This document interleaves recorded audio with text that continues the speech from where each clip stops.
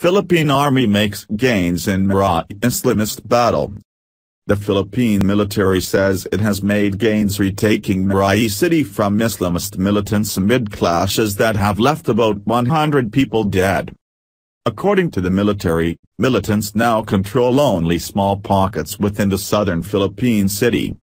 But there are still reports of fighting on the ground and thousands of civilians trapped. 19 civilians are known to have died. Some are found dead in a ravine with gunshot wounds to their heads. Militants allied to the so-called Islamic State came out onto the streets of Marawi last week after the army attempted to capture a top militant leader. Many residents fled the city as clashes erupted, but a local official said about 2,000 people were unable to leave areas held by the militants.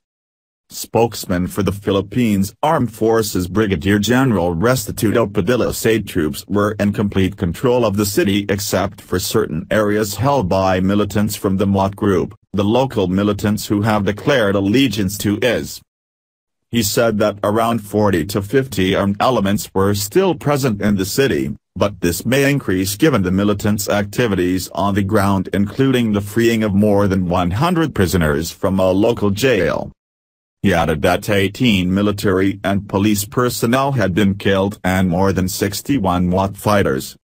Reports say the remaining fighters are still believed to be holding several hostages, including a priest and a number of Christians.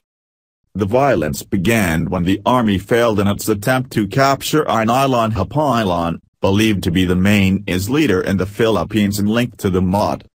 In response the Maute swarmed the city, taking over a hospital and burning down buildings.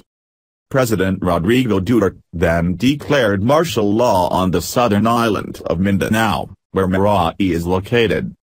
The Philippines, which is majority Catholic, has faced Muslim separatist movements for decades in Mindanao with its significant Muslim population.